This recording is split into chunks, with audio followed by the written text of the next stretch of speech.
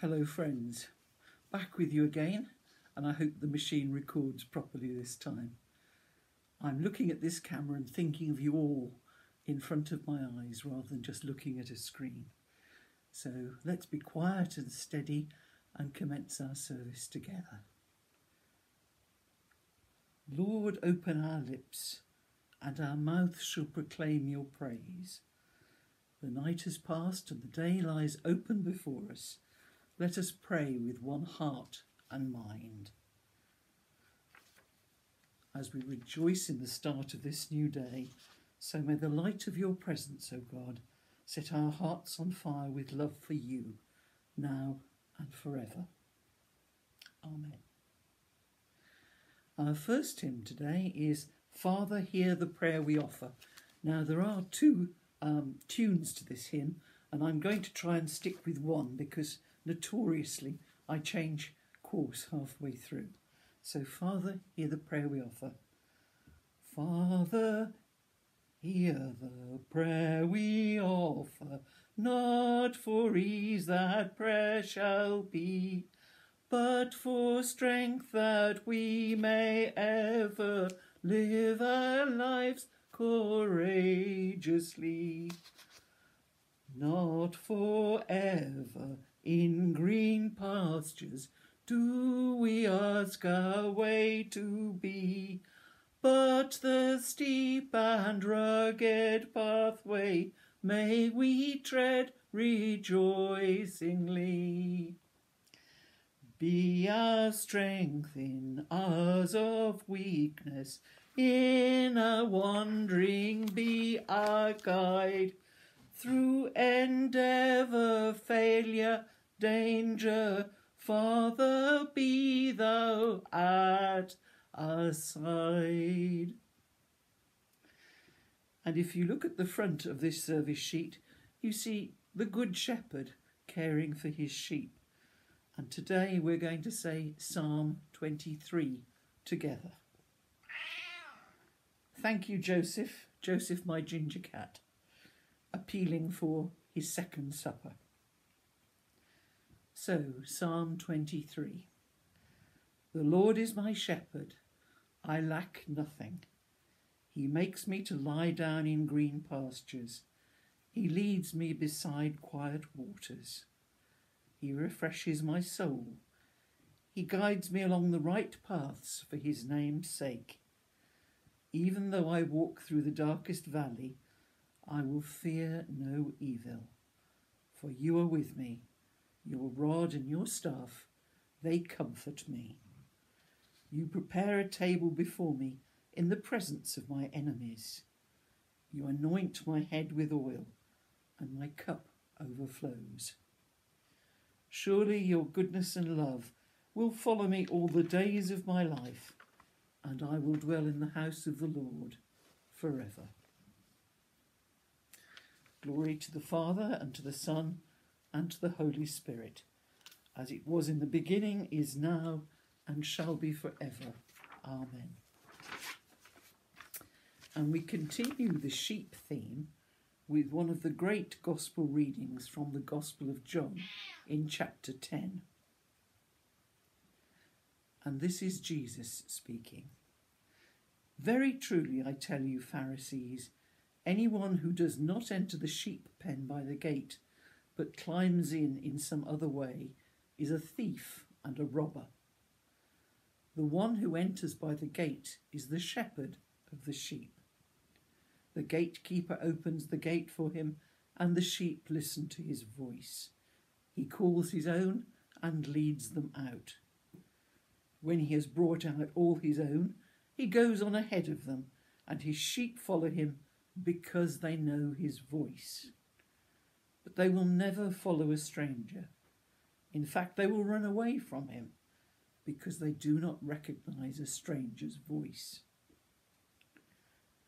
Jesus used this figure of speech, but the Pharisees did not understand what he was telling them. Therefore, Jesus said again, Very truly I tell you, I am the gate for all the sheep. All who have come before me are thieves and robbers, but the sheep have not listened to them. I am the gate. Whoever enters through me will be saved. They will come in and go out and find pasture. The thief only comes to steal and kill and destroy. I come that they may have life and have it to the full. I am the good shepherd. The good shepherd lays down his life for the sheep. The hired hand is not the good shepherd and does not own the sheep. So when he sees the wolf coming, he abandons the sheep and runs away. Then the wolf attacks the flock and scatters it. The man runs away because he is a hired hand and cares nothing for the sheep. I am the good shepherd. I know my sheep, and my sheep know me, just as the Father knows me, and I know the Father, and I lay down my life for the sheep. I have other sheep that are not of this sheep pen. I must bring them also. They too will listen to my voice, and there will be one flock and one shepherd. The reason my Father loves me is that I lay down my life, only to take it up again. No one takes it from me, but I lay it down of my own accord. I have authority to lay it down and to take it up again. This command I received from my Father. So there we have it, one of the great Good Shepherd themes in the Gospel of John. And it's almost a perfect illusion, isn't it? That a man will take care of his flock, even at the peril of his own life. And as we know, having just been through the uh, great rejoicings of Easter, he laid down his life for his flock and was raised again to the Father. And the shepherd looks after the sheep. He sees they're not wounded, they're well fed, they are comforted, and by green grass and flowing water. Surely goodness and love shall last all the days of my life. Amen. Our second hymn is I Danced in the Morning, also known as the Lord of the Dance. So I hope you're in good and cheerful voice this morning. I danced in the morning when the world was begun, and I danced in the moon and the stars and the sun. And I came down from heaven and I danced on earth. At Bethlehem I had my birth. Dance then wherever you may be. I am the Lord of the dance, said he, and I'll lead you all wherever you may be, and I'll lead you all in the dance, said he. I danced on the Sabbath and I cured the lame. The holy people, they said it was a shame. They whipped and they stripped and they hung me on high and left me there on a cross to die. Dance then wherever you may be. I am the Lord of the dance, said he, and I'll lead you all wherever you may be, and I'll lead you all in the dance, said he. They cut me down and I leaped up high. I am the life that'll never, never die. I'll live in you if you live in me. I am the Lord of the dance, said he. Dance then wherever you may be. I am the Lord of the dance, said he, and I'll lead you all wherever you may be, and I'll lead you all in the dance, said he.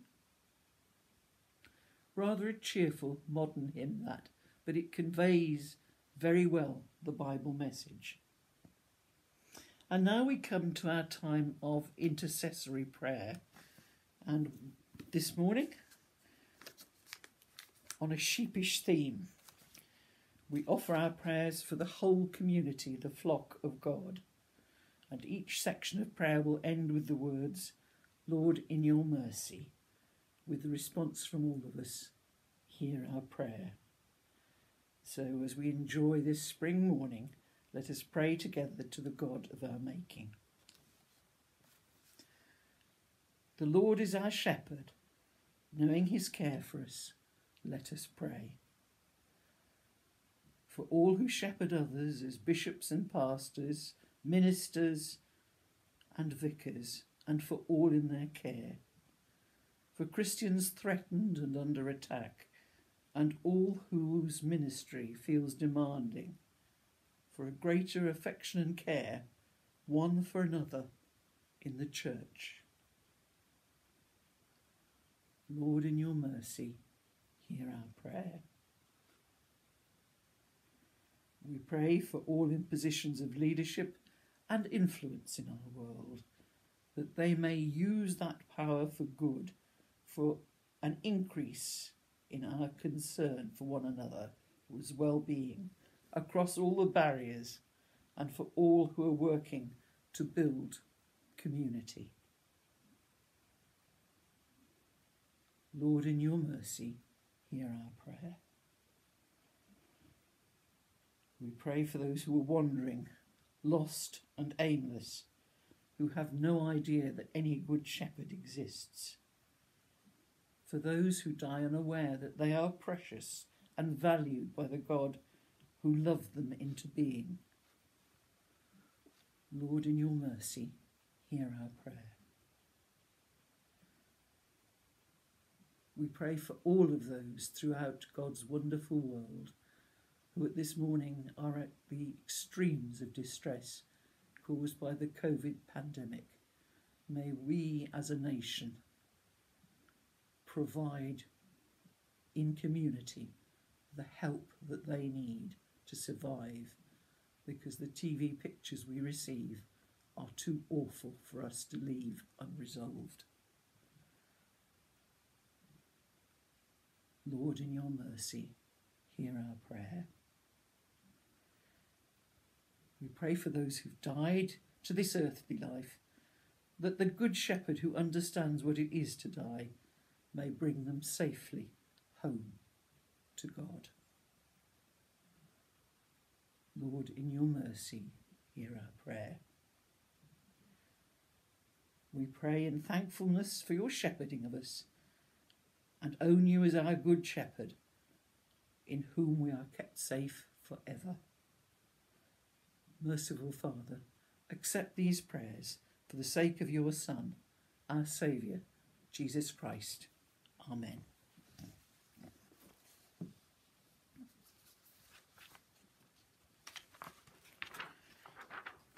Our third hymn continues the Easter theme, and I don't mind however many times I sing this hymn because I love it so much.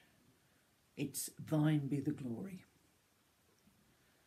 Thine be the glory, risen conquering Son.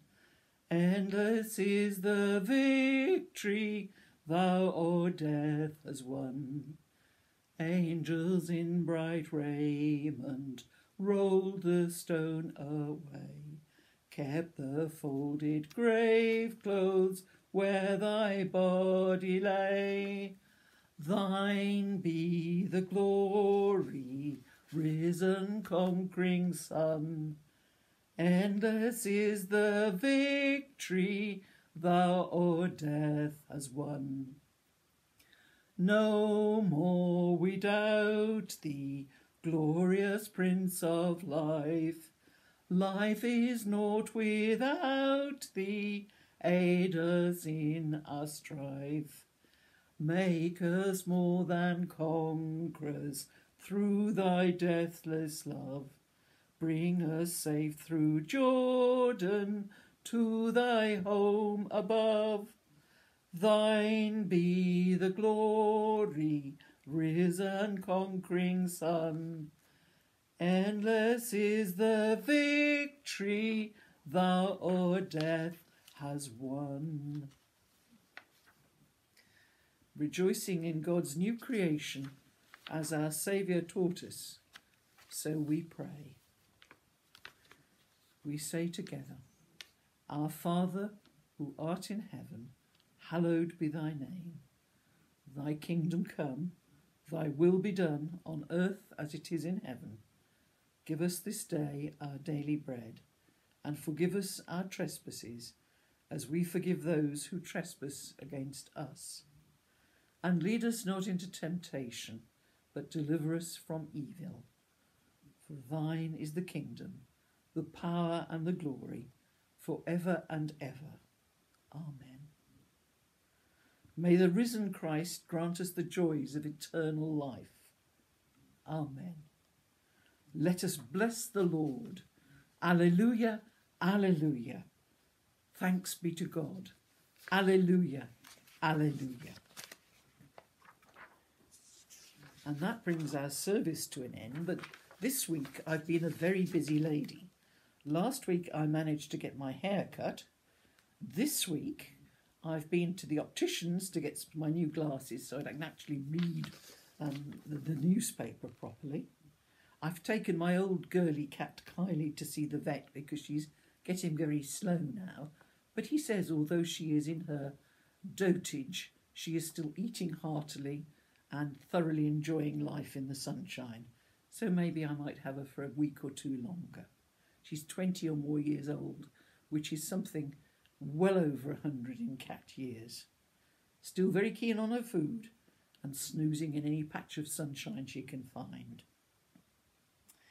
I had great excitement when I went to Brierley Hill Health Centre because I'm type 2 diabetic now due to medications I take. And I went in and went up to the first floor as I've been told to do, but couldn't find the department that, that looks at my retina.